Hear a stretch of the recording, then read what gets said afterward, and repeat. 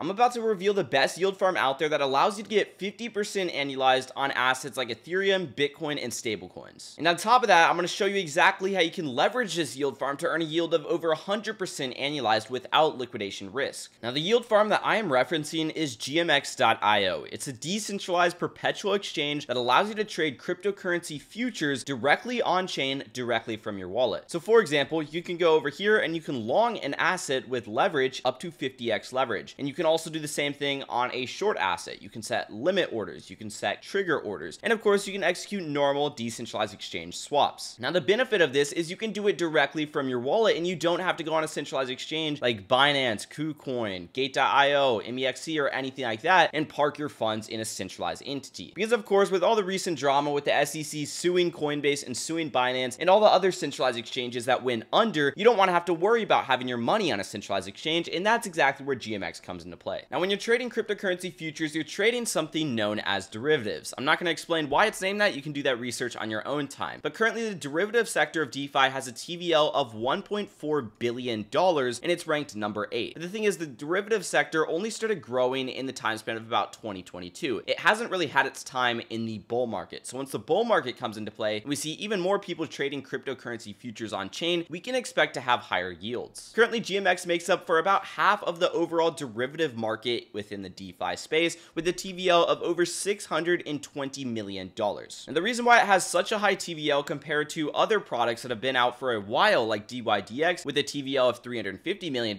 is because they are on layer 2 scaling solution networks. DYDX is on the Ethereum network. You have to pay a lot of gas fees to actually execute trades. So in reality, it's cheaper to just go on a centralized exchange and it's way more worth it. Whereas on GMX, it's on the Arbitrum network as well as the Avalanche network, which means that you can easily trade with super low gas fees. And I do want to mention that this is not a paid promotion. This is not a sponsorship. I don't have any contact with the GMX team. I'm just truly bullish on the product that they've been building and I have been for the past year or so now. I've made previous videos on GMX and I'm going to talk about two platforms that allow you to leverage your GMX yield in this video. But first off, I want to talk more about GMX and GLP token. Now remember, GMX is decentralized, so it does have to have a liquidity provider system in order for it to be fully decentralized, which means people like you and me can put up our liquidity for people to trade from, and then in return, we're gonna get paid the fees that traders pay. So GLP is essentially the liquidity asset. If you hold GLP, you are essentially providing liquidity for GMX exchange. Now GLP is backed by Ethereum, Wrap Bitcoin, a very little portion in Link as well as Uni, and then stable coins like USDC, Tether, DAI, and Frax. Now you'll notice that they have weights right here, and they have a current weight and a target weight. The target weight is how much of the overall GLP composition they want that specific asset to make up for. So for example, currently Ethereum has a weight of 27.83%, but they want it to make up for about 30% of the overall GLP composition. And then so on and so forth with Bitcoin as well as these other assets. Now there are a few things that change the weight of the asset. Number one is price action. If Ethereum goes down and Bitcoin goes up, obviously Bitcoin is making up for a greater weight and Ethereum is making up for a lesser weight. The other thing is if too many traders win on a specific asset or if traders just win or lose in general. That's because when you are providing liquidity for GLP, your risk is that you are the counterparty to the traders. So this is essentially the equivalent of impermanent loss in a platform like Uniswap v3 or Trader Joe or so on and so forth. So let's just say a trader executes a trade and they make $100 on that trade. And let's just say that $100 was in Ethereum. Well, then essentially they're taking $100 from the Ethereum weight and it's being paid out to them. So they are taking money from the GLP pool, which causes the GLP price to go down. Now, the other thing is if traders lose their trades and they're putting $100 into the Ethereum pool or whatever asset it may be, which causes GLP price to go up. That's ultimately what affects the weights the most, traders winning and losing on specific assets. I will say, historically, people that were trading on GMX Exchange have lost the majority of their trades. Initially, they started to win some of their trades with an overall P&L of $150,000, $200,000, but as you can see, it just went down and down and down over time, which is actually good for liquidity providers because not only are they making money from the yield, not only are they making money from the assets rising in price, they're also making money because they are the counterparty and these traders are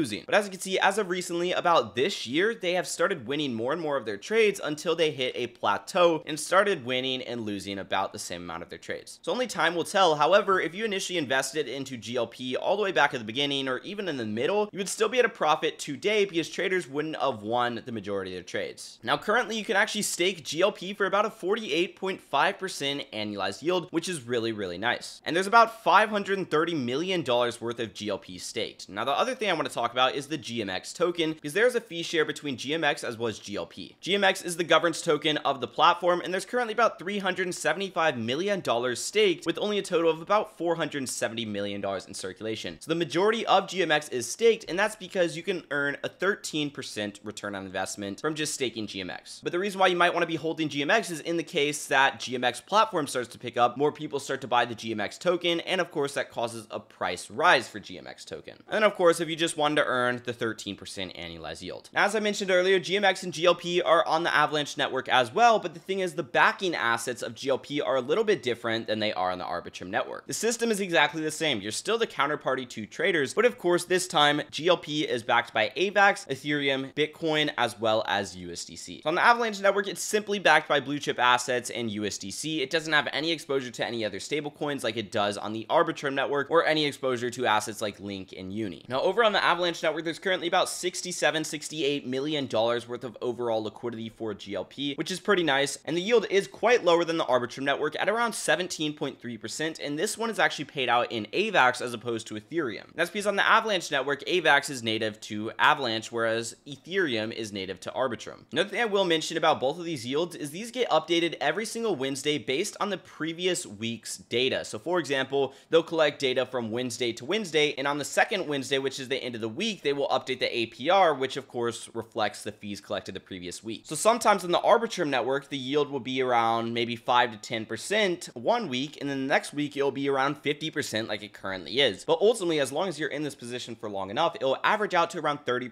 annualized. And that's exactly why there's a 50% annualized yield on GLP on the Arbitrum network, and then a 18% annualized yield on the Avalanche network. Now, I do want to mention I just released a free market neutral guide that teaches you how to make passive income through DeFi through market neutral strategies without taking on any exposure. This link is going to be down below in the description because some of the strategies that you can actually do is borrow against your GLP assets and invest that into market neutral strategies to get an even greater yield. And as always, it's free and it's down below in the description. Now let's talk about how exactly you could leverage these on platforms like Jones DAO as well as Steadefi. Jones DAO is a strategy platform, which means that they have strategies that they run for you. You don't have to go and manually execute those strategies. All you have to do is deposit into the vault and they're going to go and they're going to do the strategy for you. Now they have two vaults for GLP. One's a gamma neutral USDC vault and one's a leveraged delta GLP vault. So essentially the leveraged delta GLP vault is GLP but with leverage, which means number one, you have an increased yield. Number two, you have increased market exposure. And number three, you have increased impermanent loss exposure, which of course is if traders win too many of their trades. Currently, this is doing around 106% annualized, which is really, really nice. And how they're able to leverage up on GLP is simply by borrowing from their gamma neutral USDC vault. Let's just say somebody deposits $100 into the GLP vault and they're using 3x leverage currently in the GLP vault. Once again, just to estimate, what they'll do is they'll go and they'll borrow $200 from the USDC vault, which essentially gives them $300 exposure to GLP. But at the same time, the person deposited into the GLP vault takes on all the market exposure, because in the case that the price goes down 10%, the $300 would lose $30, while the $100, which is the deposit, would lose that $30. And that's because the person depositing into the GLP vault is taking on all the risk, and the USDC vault is just simply lending out their capital to be leveraged capital. Now, to talk quickly about how exactly this works, you have two options. Number one, you can deposit using any asset and you can compound your deposits. You're going to get something called JGLP. Your deposits are automatically compounded and accumulated in the JGLP token. So essentially this JGLP token, the yield will be accrued in the price of it, which means that it will trade higher than the actual GLP token. And that's because over time the yield is continuing to be accrued in JGLP. So at the beginning it was one JGLP equals one GLP, but now it takes more GLP to equal one JLP. And then of course you can not compound your deposits. That's the other option. You can manually claim your Ethereum rewards over here. That's what I did initially before switching into the auto compounding vault. I currently have about $2,900 of my own capital in JGLP. Now Steadefi is another platform. They use the same exact lending and borrowing system where they borrow from their own vault, but they just have another version of the GLP vault. This time it's the Steadefi version. Now Steadefi has a 3x long GLP vault currently doing around 100%